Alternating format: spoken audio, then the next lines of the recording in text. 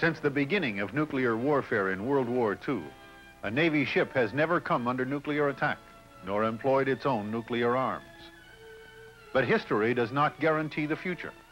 A nuclear weapon could be detonated at sea anytime, tomorrow, next week, next year, or now.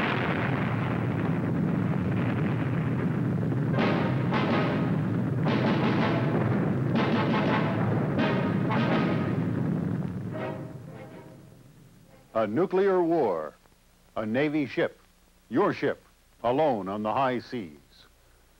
What can you expect? What effects will the detonation have on you, on your ship and its fighting ability? What effects will your weapons have on the enemy? Questions, important questions that you must be able to answer. For even if you don't believe a nuclear attack will ever happen, you must believe that it could. But you may be thinking that nuclear weapons are too complex and their effects too many to be understood.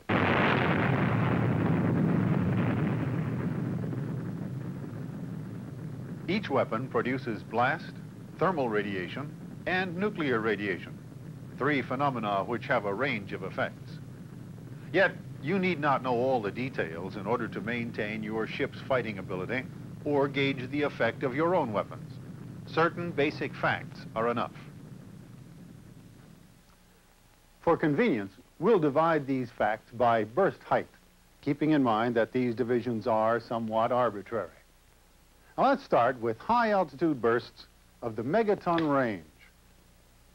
The most significant phenomena is that nuclear radiation will produce widespread disturbance of the ionosphere, the region between 25 and 250 miles altitude.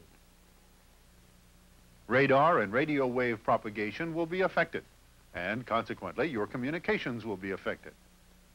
It will suffer attenuation, interference, and distortion to some degree and may even be seriously degraded for an indefinite period.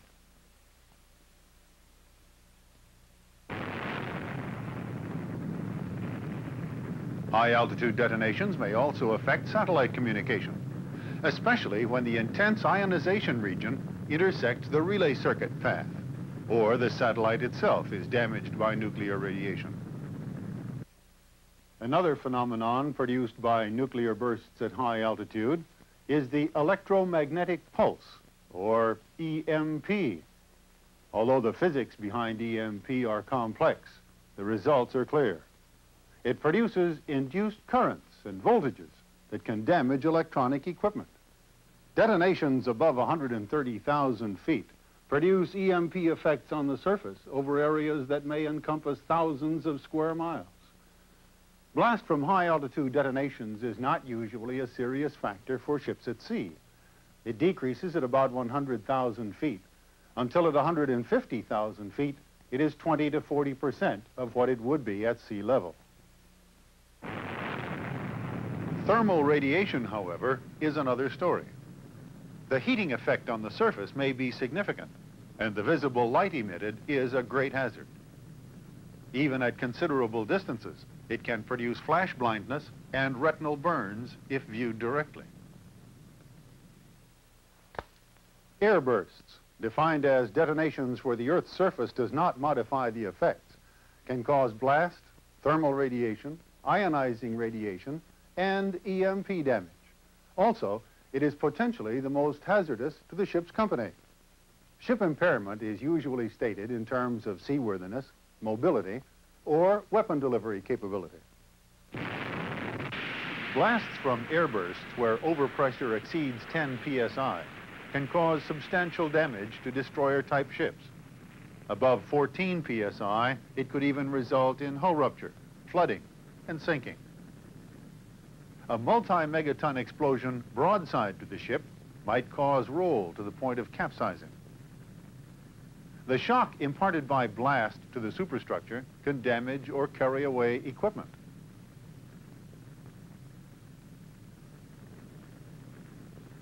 At greater distances, overpressure above 6 psi can distort, rupture, and carry away light structures and equipment with the possible loss of weapon delivery capability. Interior equipment and compartments may be damaged by the blast collapsing deck structures or bulkheads.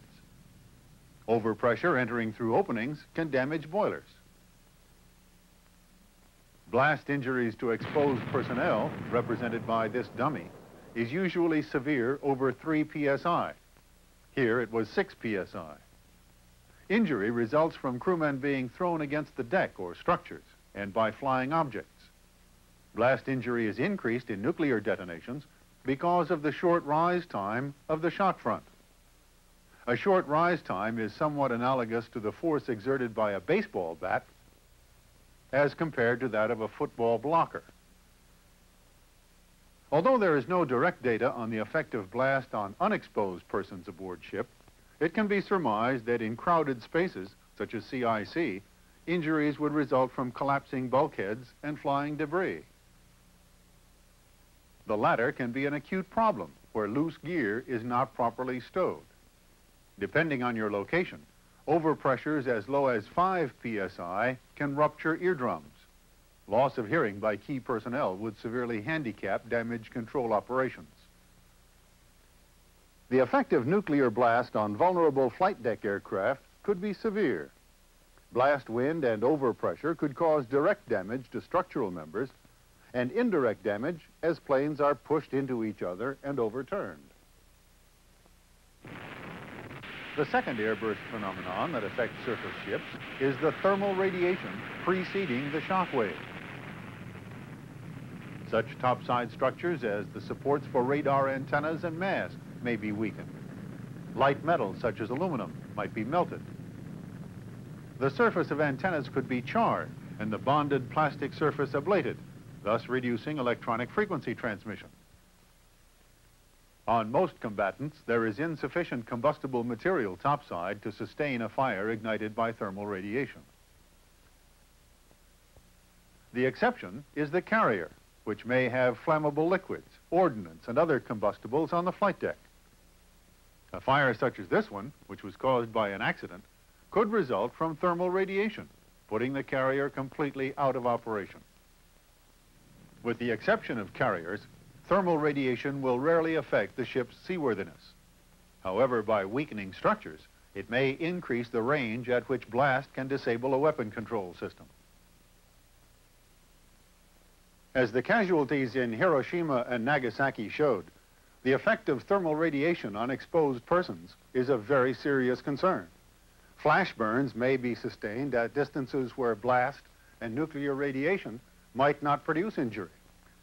Burns from thermal radiation run the gamut from first to third degree and are similar in many ways to burns from fires. They can result from direct exposure, from clothing catching on fire, or from fires started by the thermal radiation. One difference in the thermal radiation phenomena is that the energy is concentrated in a few millisecond pulse. To give you an idea of the tremendous heat produced by a nuclear burst, consider the following rough comparison.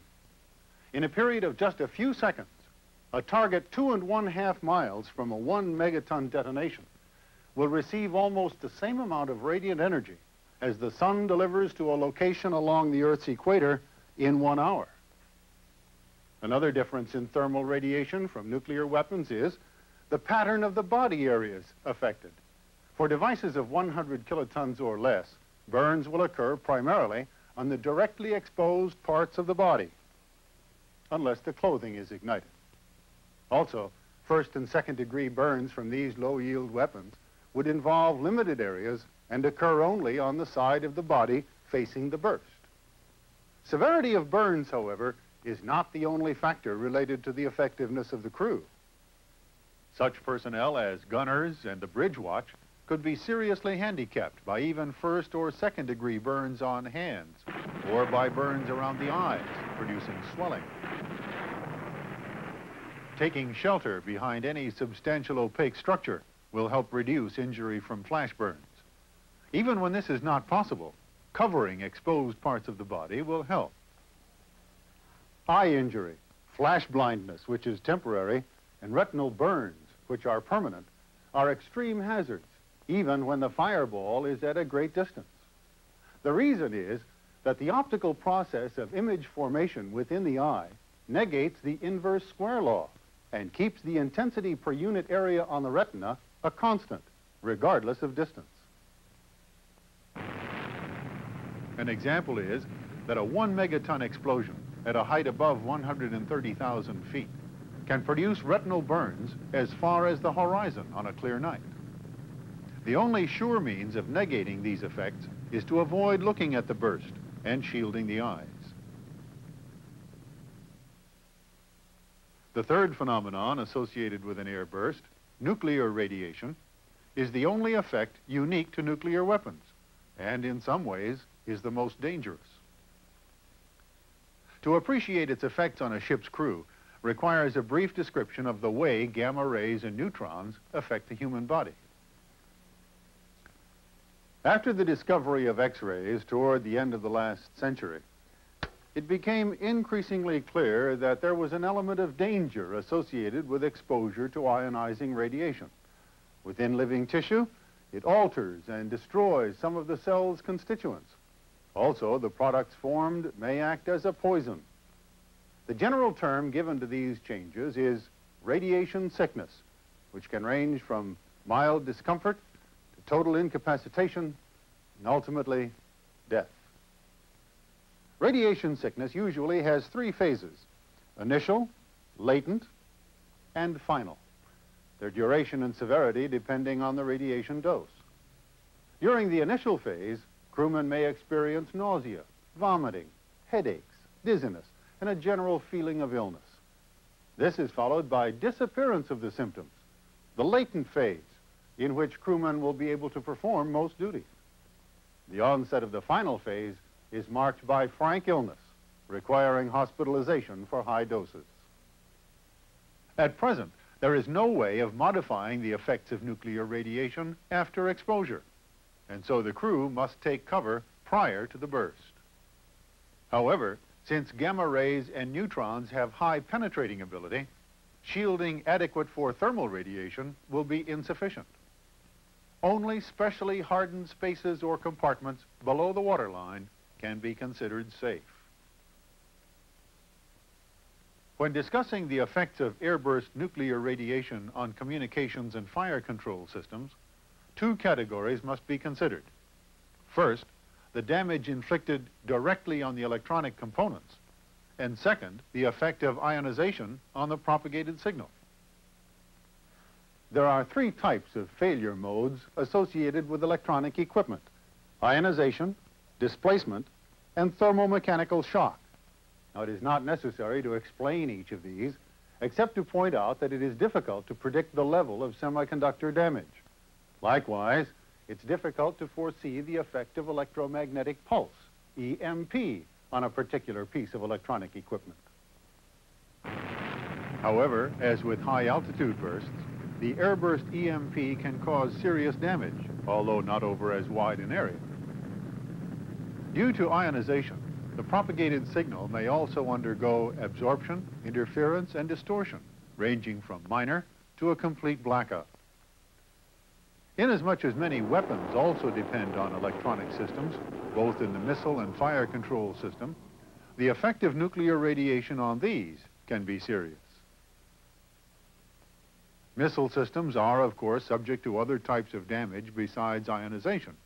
However, here again, system design so influences the amount and type of damage that no predictions can be made. Also, the position of the weapon in the magazine, in transit, or on the launcher must be considered. For some missile systems, the vulnerability of the radars and guidance illuminator can be a major factor, perhaps more critical than missile or launcher systems. Surface bursts, those that interact with the water, differ only slightly from air bursts. First, a large volume of water will be vaporized and carried up into the radioactive cloud. For example, it's estimated that if 1% of the energy of a one megaton weapon is expended in this manner, about 20,000 tons of water will be converted into vapor.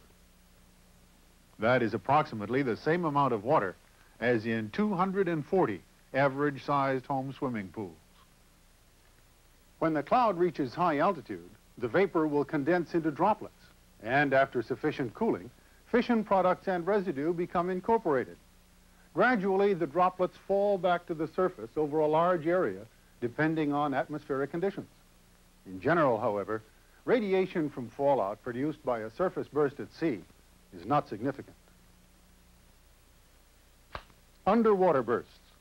The phenomena associated with these have certain common characteristics, which can be modified by the yield, depth of explosion, and area of the water body. However, for the sake of description, we will divide the effects into just two categories, underwater and surface. The rapid expansion of the gas bubble formed by a nuclear underwater burst results in a shock wave being sent out in all directions. Compared to air bursts, its peak values are much higher for the same distances, but the duration is much shorter. For example, the peak overpressure from a 100 kiloton burst at 3,000 feet in water is about 2,700 psi, compared with a few psi for an air burst. In deep water detonations, the rising hot gas bubble will expand and contract, producing multiple shock waves, which are reflected from the bottom, surface, and ship's hull. Also, although the shock reflected from the bottom may be lower in pressure, it arrives at a steeper angle and therefore may induce more damaging motion to the target. The impact of a shock wave on a ship is a sudden blow, like a high explosive blast, except nuclear bursts act over the whole ship instantaneously. There are two types of effects that can be expected. First, the direct shock to the hull, and second, the indirect effect resulting from components within the ship being set in motion.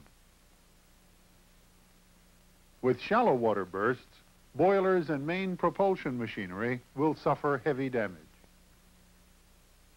As the range increases, light interior electronics will still be affected, even at distances where there is no hull damage. If the vessel is underway, machinery will probably suffer somewhat more damage than if at anchor. On the surface, an underwater burst will push up a plume or spray dome when the hot gases vent. As the column or plume subsides, a donut-shaped ring of mist is formed, similar to the spray at the base of a falls. This is the highly radioactive base surge. After a short time, the water droplets in the base surge evaporate leaving fission debris suspended in the air. This invisible base surge continues to move with the prevailing winds and can be a considerable radiation hazard to ships encountering it unawares.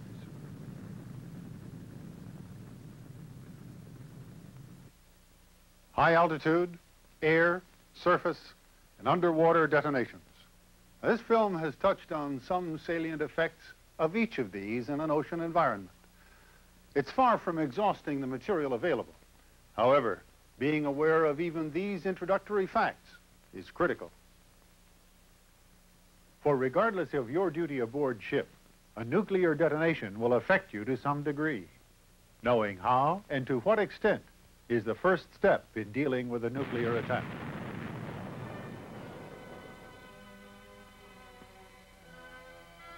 Likewise, knowing how your weapons will affect another ship will help maximize their effectiveness. Of course, there's no way to know if you will ever need this information. But considering the weapons involved, this is too big an if to leave to chance.